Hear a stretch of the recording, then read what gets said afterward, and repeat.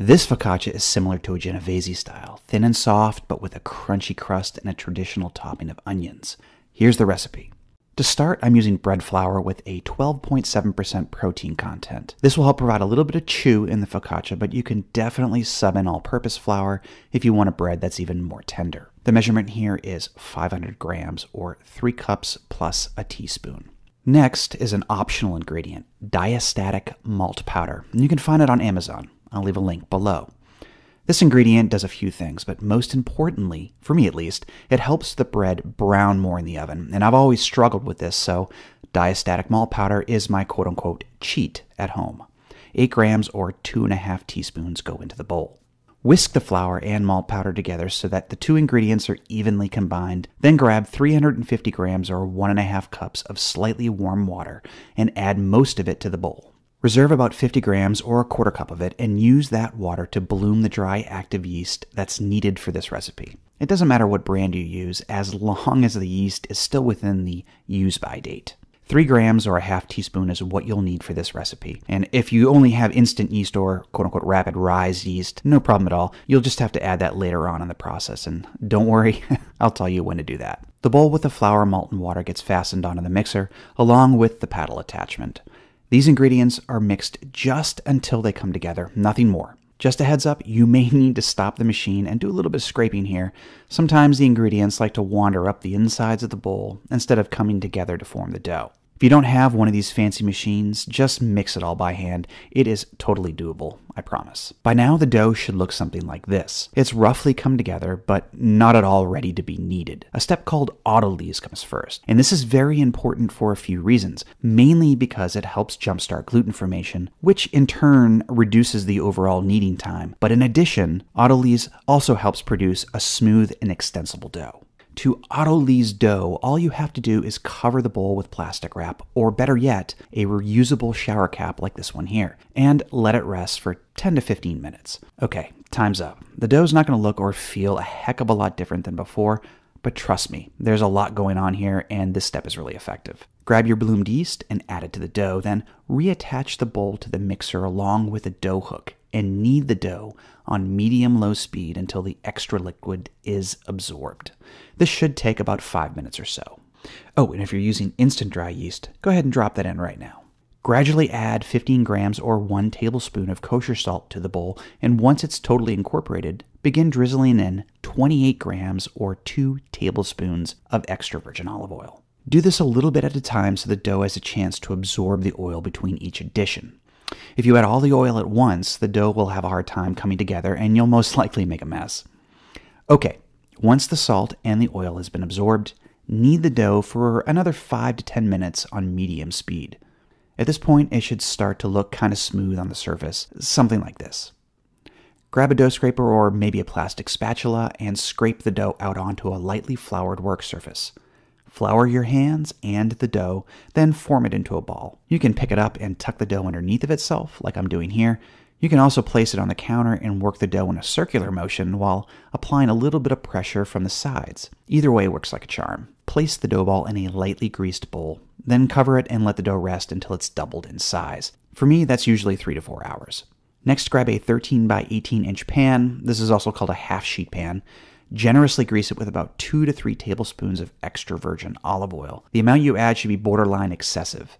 Now, use your hands to spread out the oil, making sure the surface is completely covered, including all four sides of the pan. I placed my covered bowl in my oven with the oven light on. Now, this provides a slightly warmer environment that's perfect for fermentation and proofing, and speeds up the process if you're running tight on time. Here's what the dough should look like when it's ready to go. It's doubled in size, gassy, but it's not deflated. Use a bench scraper and carefully transfer the dough to the oiled sheet pan, making sure to leave little behind. Oil your hands with a little bit from the pan and begin pressing the dough out so it's nice and flat. It's important to spread it out evenly, and a helpful tip is to rotate the pan every so often when pushing the dough toward the corners. You may find that lifting the dough up and stretching it like pizza dough is effective as well. I use both methods. At this point, the focaccia dough is not going to be stretchy enough to fill the sheet pan. That'll come later. Patience is a virtue here. Cover the pan up and let the dough rest for 10 to 15 minutes and then come back to it and stretch a little more. Eventually, the dough will relax and you'll be able to fill the pan from corner to corner. Cover the pan again and let the dough rest for about an hour. I'm using that old oven trick to speed up my proof. This is the perfect time to prepare some sort of topping for your focaccia. In Genoa, spring onions are a traditional topping, but it's winter where I live and they're not available right now. In an effort to replicate those flavors, I'm going to use a combination of sweet Vidalia onions and a delicate green onion or scallion. A mandolin comes in really handy here. It'll slice those larger onions thin and evenly, but if you don't have one, a knife will do just fine. If you're using a mandolin, please be careful. It's very easy to cut yourself, especially your fingertips. For reference, I'm using about 4 to 5 ounces of Vidalia onion and uh, about 5 scallions. After an hour or so, your dough should look like this slightly puffy, but not completely doubled in height. Generously oil the focaccia with more extra virgin olive oil. Make sure you add an even amount all over the surface. Then dimple the dough using just the tips of your fingers. A good method is to work from one side to the other, making sure to press down to the bottom of the pan when dimpling. You'll notice that the oil will start to fill in those holes, which is exactly what is supposed to happen. Cover the dough again and preheat the oven to 500 degrees Fahrenheit or 260 degrees Celsius. For convection ovens, go 25 degrees Fahrenheit or 14 degrees Celsius cooler, like I'm doing here. Top the focaccia with the onions right before it goes in the oven. Shoot for an even application all over the surface of the dough from edge to edge. Now, if you add a heavier topping like this any earlier, the weight of those onions might keep the dough from rising, so it's done at the very last minute. A little bit more extra virgin olive oil never hurts, and don't forget to season the focaccia with a little bit of salt. A flaky variety would be best here, but I don't have any on hand, so fine sea salt will have to do.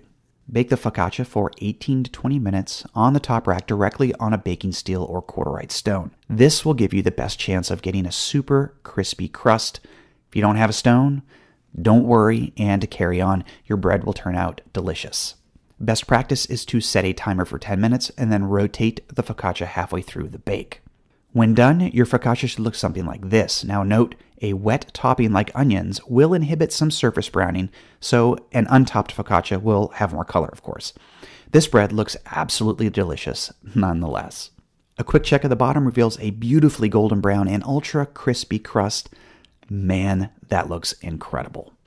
Quick shout out to Baking Steel here. You guys produce an awesome product, and no, this video is not sponsored, but I'll leave a link to their website down below. Carefully slide the focaccia out onto some sort of baking rack and let it rest for a few minutes or until the bread is cool enough to handle. All right, it's been five minutes, so let's cut into it and take a closer look at everything. That looks spot on to me. The interior is riddled with tons of holes in various shapes all over the place. Looking at the top, the onions are cooked through and tender but not burnt. The focaccia surface, including the sides, look properly baked. The bottom is where it's at for me, though. That just looks impressive. Time for a taste test. Cut this up into some pieces. Give it a try.